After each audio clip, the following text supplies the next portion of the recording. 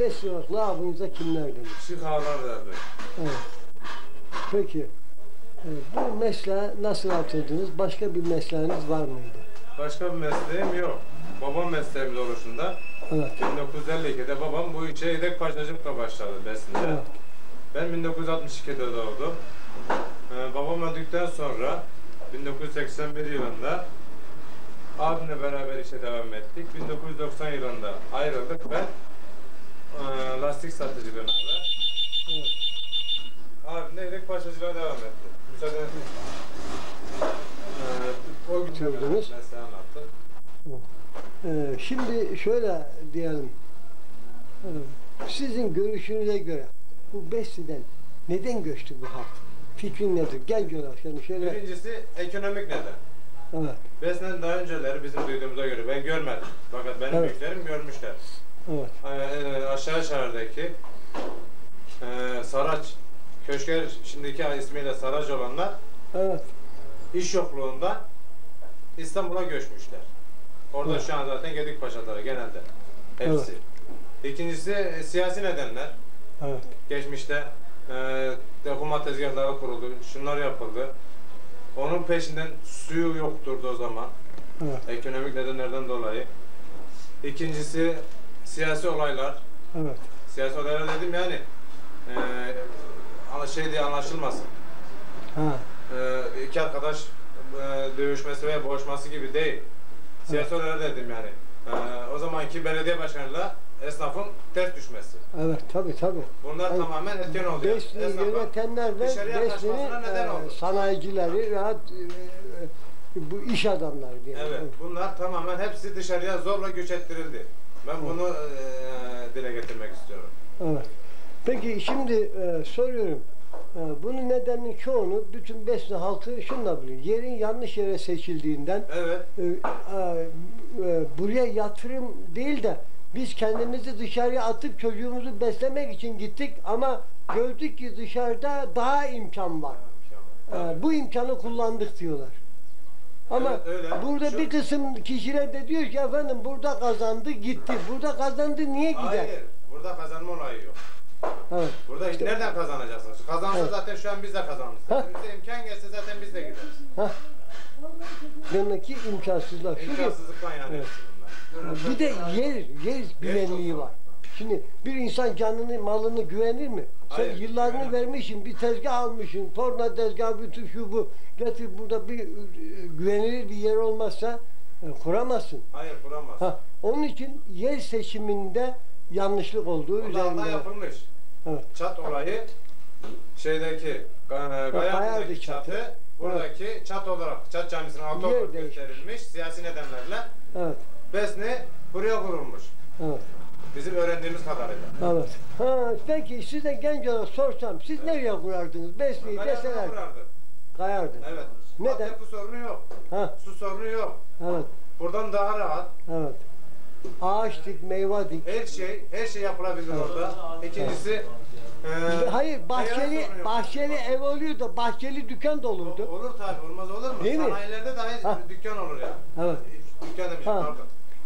Şimdi ben de diyorum ki olur. 50 yılın yanlışlığı şimdi e, Besne halkının dürüstlüğü, iyi niyeti bak yolu oradan getirdi. Evet. Haklılığı ortaya Tabii, çıktı tabii. yani. Yani gerçek an- ortaya çıktı. Evet. Bundan sonra da kayacak yani Besni. şey olarak Evet. hayatına Ha, kayacak yani. Şimdi bunun için ben diyorum ki bir fon yani bir şey kuralım. Ee, vakıf.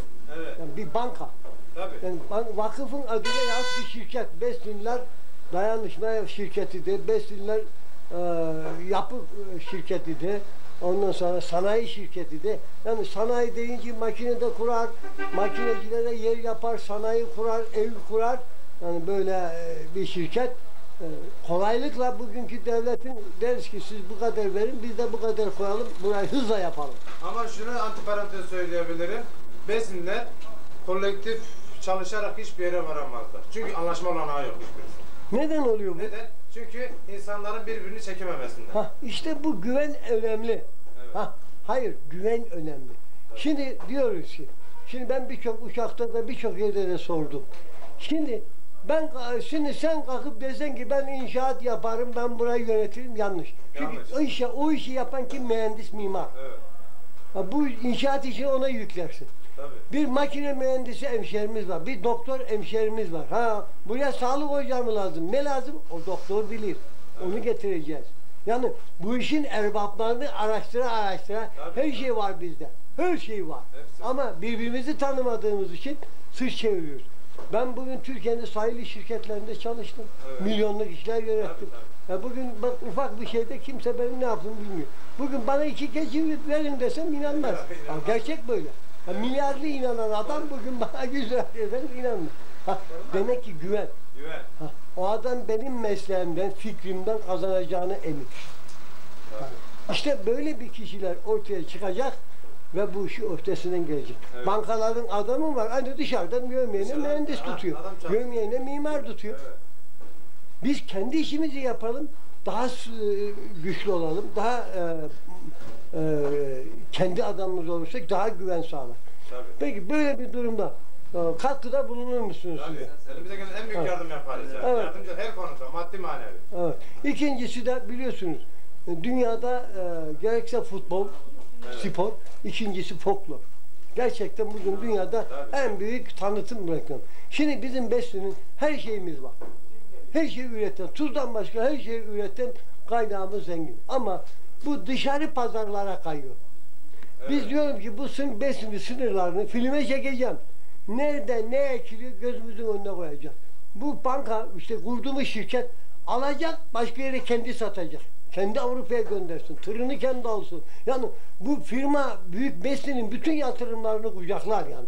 Her dala el atarsak bu kayan karı diğer yerlerde pay. Bugün fıstığın kilonu 10 liradan alıyorlar. Ben yerinde inceledim ve bunu da göstereceğim yani. Evet. Ha, bugün Menderes Havaalanı'nda 35 bin lira. Geriye ne kalıyor? 25 bin lira kime gidiyor? Aracı. Peki bunun 10 lirası bize gelsin. 10 lira alırsan 10 lirası gelse besin halkının faydasına olur. Kim yiyor bunu? Başkaları. Başkaları yiyor. Ha, işte benim aradığım nokta bu. Artık köylüsü, şehirlisi topyekun bir bankamız olsun, Olsun, koyalım, tabii. kültürümüzü de kuralım. Ondan sonra bir de folklor kuralım, kendimizi tanıtalım. Evet. Bunda da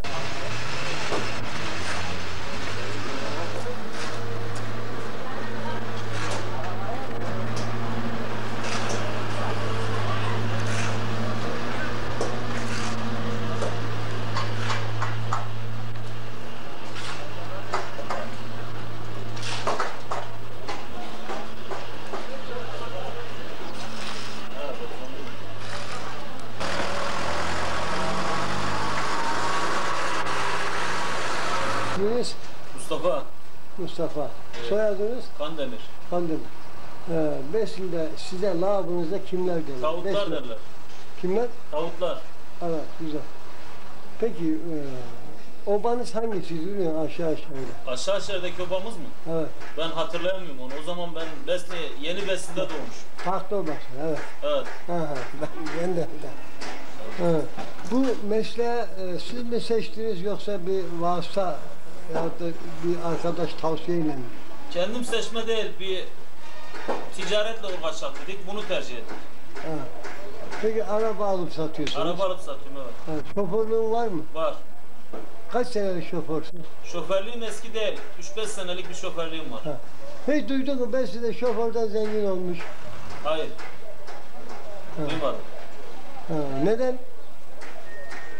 Çünkü şu işini bilmediklerine yani. İşini çok, bilmediğinden mi artık hayır şimdi şöyle. Evet. Şoför bir araba bir sermaye değil de onları taşıyan bir vasıta gördüğü müddetçe hiç kimse para kazanamıyor.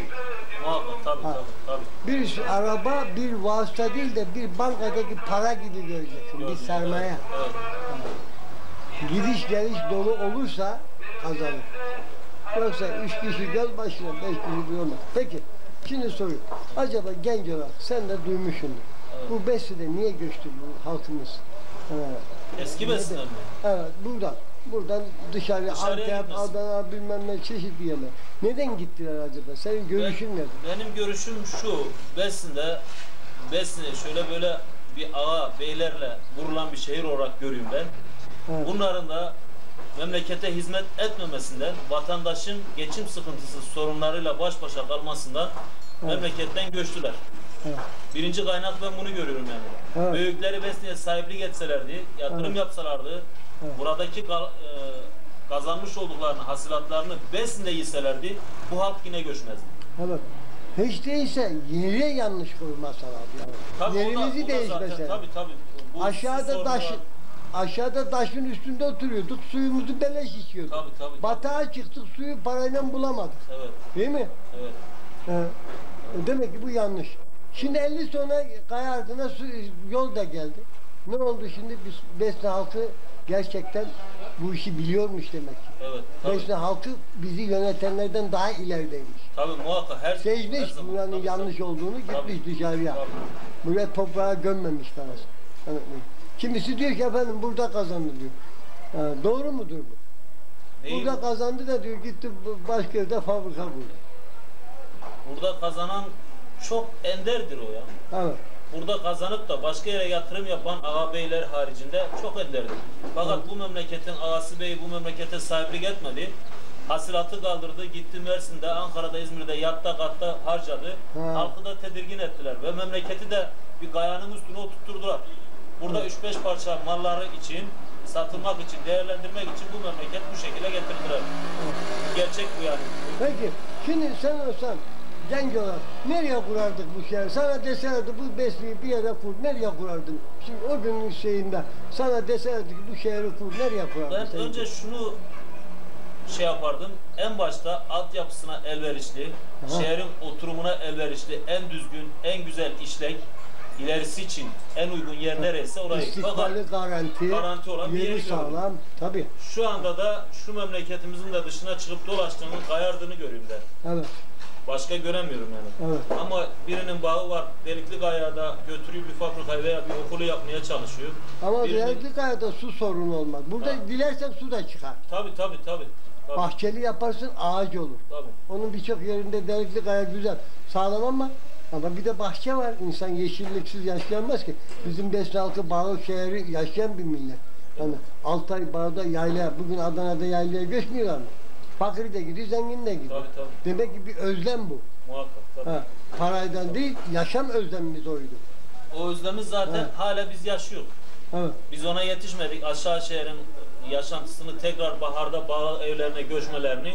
Şimdi Çok onlar güzeldi, yazlık çok. evler, kışlık evler Çok gibi. e, sanki bir bayram havası olurdu Ha. Mayıs ayında. Evet. Çiçekler, arılar, vızılar. Evet. Arı vızıltısına şu bahçelerden geçilmez. Şimdi virane olmuş, hep tarla olmuş, güzelmiş. Ya Ben ya burada çocukluğum Evet. burada geçti. Evet, ikinci şöyle. Evet. Ee, biz diyoruz ki, gel. Besni halkı olarak Evet. Artık genç olarak bu devri kapatmanız gerekiyor. Evet, tavsiye Artık gerekse Antep'te, Adana'da, Mersin'de, e, İzmir'de, Uşak'ta, İstanbul'da olsun. Evet. Sırt sırta verelim. Hiç değilse bugün e, bu Kayardı'nın geleceklere bir e, böyle bir batağa düşmemesi için yardımcı olalım. Muhakkak tabii. Ha, bir sermaye oluşturalım, bir banka kuralım. Evet. Besli bank. Herkesin var. Evet. Bunun kanunu da var. Tabii esnaf için de yapması Şimdi en uygun olan. zaten parası olan bankaya yatıracağını kendi bankasına yatırsın. Evet. Mesela gelmek Besli'den buraya gelmek istiyor adam. Evet. Artık bugün kap projesi gelince burada atlı, şöyle böyle e, geniş bir kapsamda nüfus patlaması olacak Evet. burada. Nasıl ki Ege'ye İstanbul'a göç Şimdi bir de buraya doğru bir Buraya doğru var. başladı evet doğru. Haliyle burada besli ticareti ve her sanatta da biraz talep çoğal. Talep çoğalınca evvela besli halkımız gelsin. Buraya yer kuralım. Burayı canlandıralım. Ee, gelmek isteyen aha sana dükkan. Arada kira gibi öde. Bak mesela Besli'deki evleri yıkıldı, viran oldu. Evet. Geldiler mesela oturdu 20 sene bir hevedi kilo bir yağından ucuz oldu şimdi. Doğru. Bak doğru. 50 senede bir kilo yağ bir şey ev aldı. Evet. Şimdi niye alamıyorsun? Şimdi bir taşını alamazsın. Yok mümkün değil. İşte böyle kolaylık getirilirse bu memlekette sanat da kalkınır, halkımız da kalkınır. Evet. Ne anarşi kalır ne de kırıtı kırıltı kalır. Tabii, işte kırıltının sebebi bu.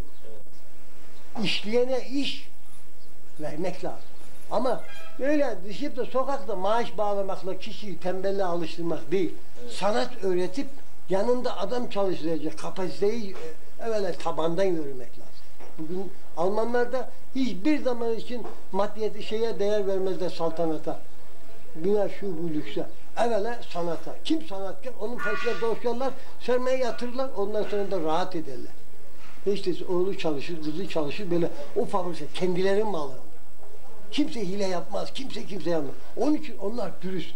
Biz ne yapıyoruz? Bayağı Filanın oğlu şöyle de, filanın oğlu böyle de. Birbirimize, halbuki yanlış düşüncelerle, çekemeyenlerin lafıyla birbirimizi kötü. Ama tam güven sağlarsak bu işin üstesinden geliriz. Artık dünya böyle yaşamak Tabii tabii tabii. Milletler de böyle yaşamak istiyor. O çalıştığının karşılığını alamıyor ondan Tabii. doğuyor. Ya bugün işte görüyorsunuz ya tabii duvarlar yıkılıyor, devletler, milletler birbirine sarılıyor. Artık açlığını ortaya koyuyor. Ben acım diyor, sen bana ver, ben sana vereyim diyor. Tabii, Artık tabii, tabii, tabii. bu işin zamanı geldi. Tabii. Peki ikincisi de diyorum ki bir folklorumuz var. Evet. Şimdi Besli'yi en iyi tanıtan sistemden birisi Doktor. ürettiği mal, ürettiği sanatsal mal, sanatsal çalışma, ikinci folklor ve futbol. Evet. Bugün dünyada geçerlidir. Tabii. Ha. Biz de bir futbol veyahut da futbola dayalı e, buna yardımcı bir de futbol kuralım diyoruz. Futbolumuz var ama zayıf. Bunu destekleyelim. Bir de folklor kuralım. Besli'nin havasını çalsın, düğününü çalsın. Mesela burada altında arabası olsun. Besli'nin Antep'te düğünü varmış. Gitsin dıngır dıngır çalsın, onların özlemini gidersin, gelsin tabii. Adana'da mı var? Gitsin gelsin. Bu yere savrulan para yol parası olsun. Evet. Çok Hemen ne olur? Memleketin ahlakı bozulmaz. Tabii. Ee, sokağa para atılmak çok ayıp bir şey. Ben görüyorum düğünlerde çok, bizde besle böyle bir adet yoktu ya. Yani çok ayıp bir şey. Para savurmak hiçbir ülkede yok böyle bir şey. Hiçbir ülkede. Evet. Para atılmaz, nimettir. Kağıt onun değeri karşılığında ekmektir. İşte bunu artık böyle bir şey değil de kendimize versek de çocuğumuz, kendi evladımız çalsın söylesin. Hadi eskiden şöyleydi böyle derler artık yok. Bugün dünya bile bak Avrupa'dan çocuklar geliyor bizim 23 Nisan bayramı. Saygınlık duyuyor. Biz kendi milletimize neden saygılı olmayalım ya? Başkası bize saygı duyuyor. Tabii tabii tabii. Bak tabii. Kendi e, müzikleri gidiyorlar mesela e, TRT gidiyor kazanıyor.